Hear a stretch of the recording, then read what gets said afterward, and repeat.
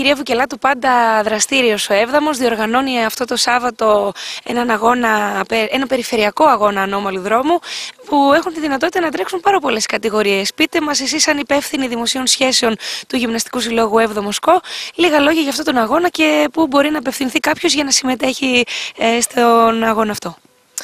Ε, ναι, λοιπόν, ο ΣΕΓΑ σε συνεργασία με τον Γυμναστικό Σύλλογο Εύδαμο, αύριο Σάββατο 20 Ιανουαρίου, διοργανώνουν έναν, ε, ένα πρωτάθλημα περιφερειακού ανώμαλου δρόμου, το οποίο θα δώσει τη δυνατότητα σε όλους τους αθλητές να πάρουν και την πρόκρισή τους για το επόμενο Πανελλήνιο Πρωτάθλημα που θα διοργανωθεί. Όσον αφορά τις κατηγορίες, από παιδάκια 8-9 ε, ετών έως και ε, μεγάλους έως 30-40 ετών, ανά μισά περίπου θα γίνει η διαφορά εκκίνησης η έναρξη θα είναι περίπου 10 παρα 10 το πρωί όπως υπολογίζουμε από τον υδροβιότοπο στο Ψαλίδι. Και οι τελευταίοι έτσι, της μεγαλύτερης ηλικίας είναι μία παρατέταρτο από ό,τι είδαμε στο πρόγραμμα.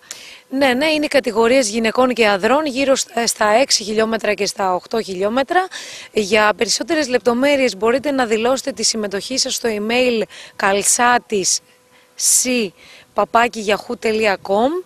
ή, ή μπορείτε επίσης μία ώρα πριν την εκκίνηση του αγώνα να δηλώσετε τη συμμετοχή σας εκεί επί τόπου. Ε, κάτι που θα ήθελα επίσης να ζητήσω, ε, οποιοδήποτε μπορεί να έρθει να συνδράμει εθελοντικά ή να δίνει κάποια νεράκια και να βοηθήσει, ε, θα ήταν κάτι πάρα πολύ ε, καλό, θα μας εξυπηρετούσε απόλυτα για την ομαλή διεξαγωγή του αγώνα. Ελπίζουμε να βοηθήσει και ο καιρός, να μην είναι βροχερός. Δεν ξέρω τι λέει η πρόγνωση του καιρού. Αλλά ούτως ή άλλως, νομίζω, επειδή είναι και ανώμαλος δρόμος, δεν μας ενδιαφέρουν τόσο πολύ οι καιρικές συνθήκες και ο αγώνας θα διεξαχθεί κανονικά. Ναι, έτσι είναι. Ο αγώνας θα διεξαχθεί κανονικά εφόσον έχει οριστεί ε, η ημερομηνία από καιρό.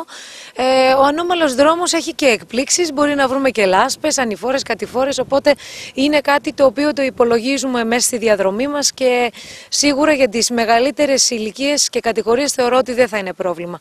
Όσον αφορά τις μικρές κατηγορίες, θα τρέξουν στην άσφαλτο και θα είναι για τις, ε, περίπου η διάρκεια τους για τις δύο πρώτες ώρες.